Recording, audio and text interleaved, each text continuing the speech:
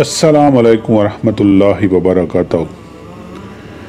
ایک شخص نبی کریم صلی اللہ علیہ وآلہ وسلم کی خدمت میں حاضر ہوا اور کہا کہ یا رسول اللہ، کس طرح کے صدقہ میں سب سے زیادہ ثواب ہے؟ آپ صلی اللہ علیہ وآلہ وسلم نے فرمایا کہ، اس صدقہ میں جسے تم صحت کے ساتھ بخل کے باوجود کرو۔ تمہیں ایک طرف تو فقیری کا ڈر ہو اور دوسری طرف مالدار بننے کی تمنا اور امید ہو اور اس صدقہ خیرات میں ڈھیل نہ ہونی چاہیے کہ جب جان حلق تک آ جائے تو اس وقت تو کہنے لگے کہ فلاں کے لیے اتنا اور فلاں کے لیے اتنا، حالانکہ وہ تو اب فلاں کا ہو چکا۔ یہ حدیث صحیح بخاری اور صحیح مسلم کے انٹرنیشنل نمبرنگ کے مطابق۔ صحیح بخاری میں چودہ سو انیس اور صحیح مسلم میں دو ہزار تین سو بیاسی اور مشکات المصابی میں اٹھارہ سو ستاسٹھ ہے اور اس حدیث کی صنعت صحیح ہے۔ اللہ تعالیٰ نے فرمایا کہ جو رزق ہم نے تمہیں دیا ہے، اس میں سے خرچ کرو۔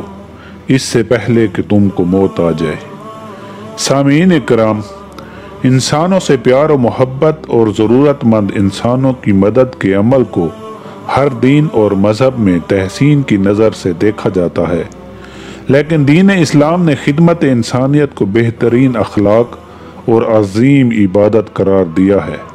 اللہ تعالیٰ نے انسانوں کو یکساں صلاحیتوں اور اوصاف سے نہیں نوازا، بلکہ ان کے درمیان فرق و تفاوت رکھا ہے اور یہی فرق و تفاوت اس کائنات رنگ و بو کا حسن و جمال ہے۔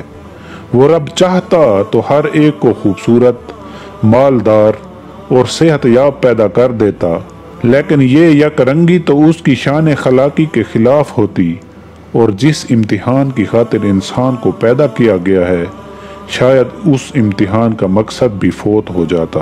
اس حدیث مبارک پر عمل کرتے ہوئے ہم سب کو اپنے حلال رزق سے مستحق افراد کی مدد کرنی چاہیے اور صدقہ کا سب سے زیادہ ثواب حاصل کرنے کی شرط اس حدیث کے الفاظ سے واضح ہے۔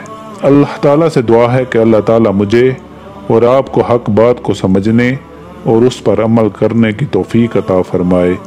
آمین۔